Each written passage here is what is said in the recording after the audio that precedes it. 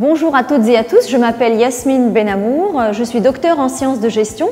Après une longue expérience dans le domaine bancaire au Maroc, je suis devenue directrice générale de HEM il y a 11 ans maintenant et je suis également depuis février 2019 présidente de LCI Éducation Afrique, date à laquelle HEM a rejoint la grande famille LCI.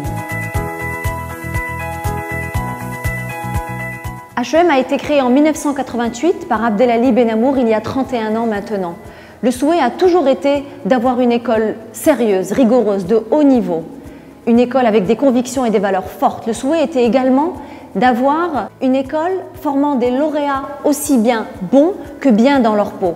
Une école qui produit de la recherche, puisqu'HEM a été la première école privée au Maroc à créer son propre centre de recherche. Et puis enfin, une école qui ose, qui crée le débat et qui prône l'esprit de citoyenneté active. Et c'est bien ce qu'est HEM aujourd'hui. Je pense modestement qu'elle est reconnue pour cela au Maroc et en Afrique en général.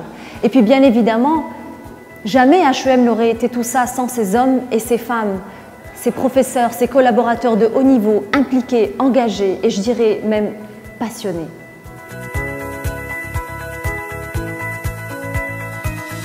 L'entrée de HEM dans le réseau LCI Éducation a eu lieu au début de l'année 2019. Alors bien sûr, il y a eu une période d'appréhension, c'est normal, le, changement n'est jamais facile, mais euh, je pense que sincèrement que HEM est une institution qui est très agile. Euh, et, lorsque les choses ont du sens, les gens finissent par comprendre et adhérer. je pense qu'aujourd'hui, on, on, y est.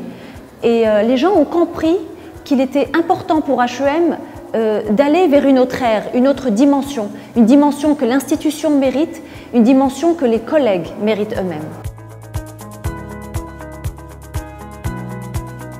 Bien sûr que l'appartenance de HEM au réseau LCI Éducation va lui offrir de nombreuses opportunités. Regardez, 5 continents, 23 campus, plus de 17 000 étudiants. Bien sûr que des portes vont s'ouvrir pour nos étudiants, nos professeurs, nos chercheurs, nos collègues à travers le monde entier. HEM a déjà une marque forte, elle va désormais bénéficier aussi d'un certain nombre d'outils, de plateformes technologiques qui vont lui permettre d'être encore plus efficiente et visible.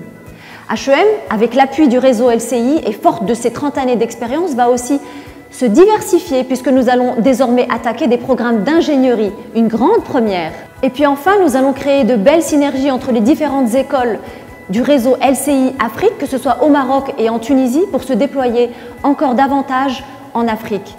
Nous avons de beaux projets devant nous et nous en sommes très heureux.